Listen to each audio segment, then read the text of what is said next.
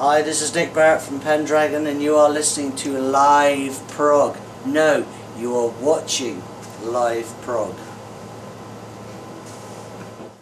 October 8, 2011. That was a date to which many progressive rock fans were looking forward to. And I was one of them. Why?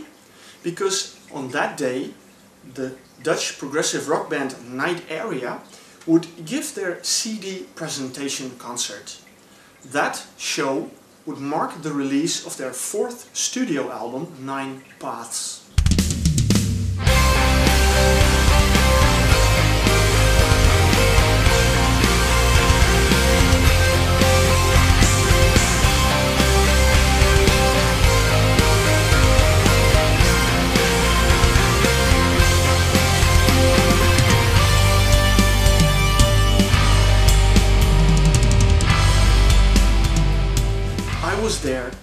I was blown away by an incredible show.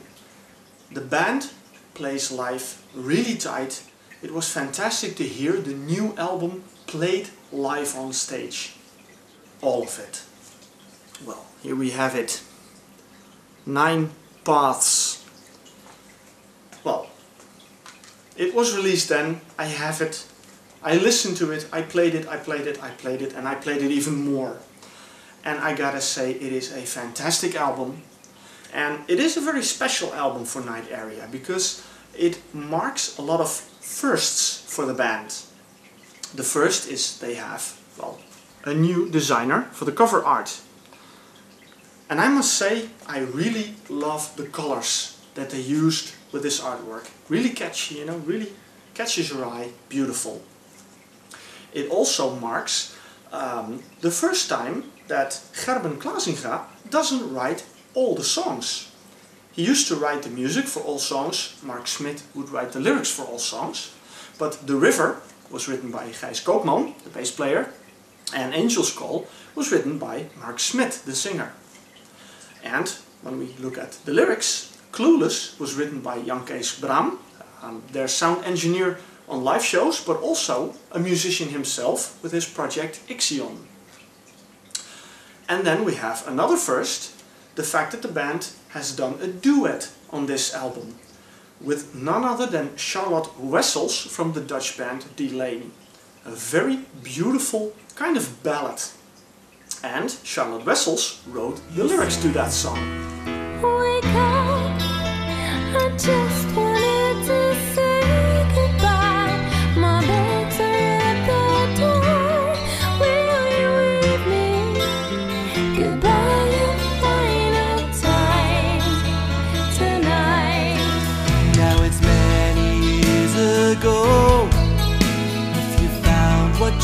Wake up,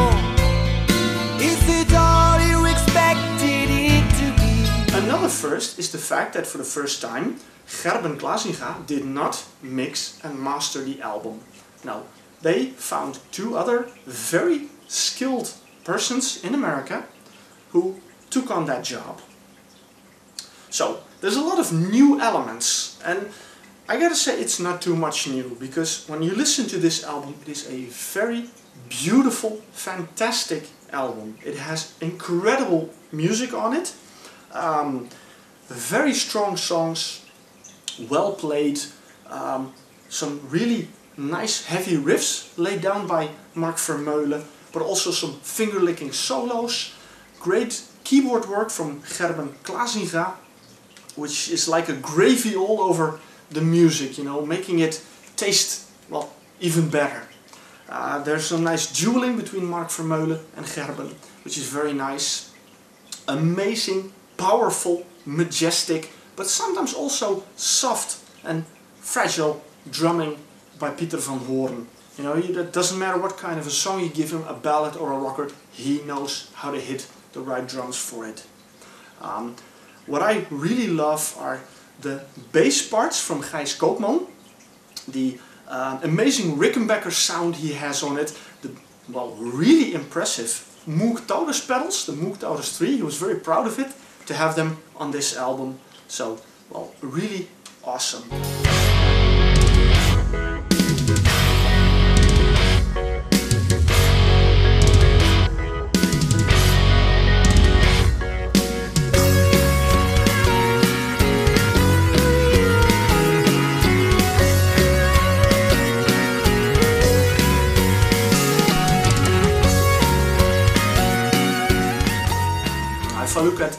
Singer Mark Smith, um, I gotta say I have come to love his voice very much. Um, two tracks on the album really stand out vocally, which I love, are um, The Balance and the last track, which is well the highlight of the album, Angel's Call. So it's a really stunning album, I gotta say that. I'm very impressed by it. Um, well, they've done a great job and if you've been following the band, if you know them a little better, if you know the previous albums, you notice that they put up the bar a little higher with each album. And I think, well, they did a terrific job with this one. Again, you know, look at the beautiful artwork. Also, well, the CD itself. And I'll show you a little more later on. But, well, I gotta say, and, and well, maybe I am biased. It, it's very possible. I mean, I've done a lot of work for the guys. I did the video podcast for uh, for Live Prog TV to promote well the release show.